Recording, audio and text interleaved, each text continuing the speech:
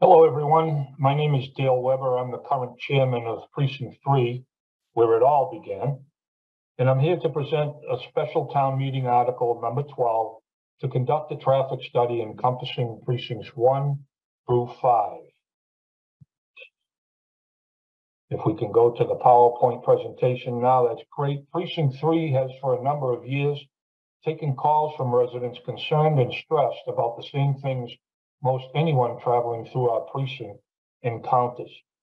Next slide, please.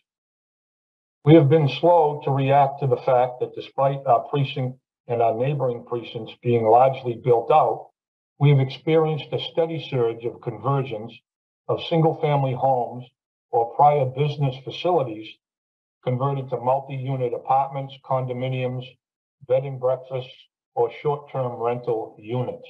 Slide number three, please.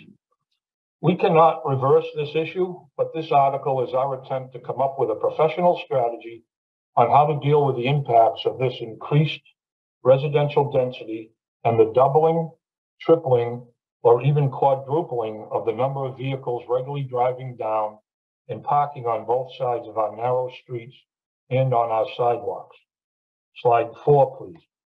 This has made it much harder for vehicles of residents and non-residents alike to travel safely upon many of our streets throughout the district and has impeded pedestrian traffic on some of our sidewalks. Slide five, please. These concerns have led to an assortment of small-scale initiatives by individuals or groups of individuals via calls to their precinct or their elected officials to address issues on their street or in their neighborhood. Those efforts looked at a small section of the larger problem, and most still remain unresolved today. Next slide, please. In conjunction with and with the consensus from meetings with the Downtown Steering Committee, precincts one, two, and four and five, precinct three has submitted the article to begin the process of compiling all of the issues and address the bigger picture as outlined in the town council approved language of our article. Next slide, please. The goal is to have engineering professionals undertake a comprehensive study to address changes in a manner that will not fix an issue in one neighborhood by creating a new issue in an adjacent neighborhood. The professional engineers that review this problem will bring impartial eyes upon these issues and provide some practical solutions that could be employed to improve the situation. Next slide, please. When their work is complete, the residents of the area will be invited to opine on the results of those findings prior to any changes being implemented. Next slide, please. Since residents of all our precincts in the town of Plymouth, with thousands of tourists, continue to make their way in and around the area of study in our article, we look forward to town-wide support of this initiative addressing the safe and efficient movement of pedestrian and vehicular travel in our district as outlined in the next slide, please.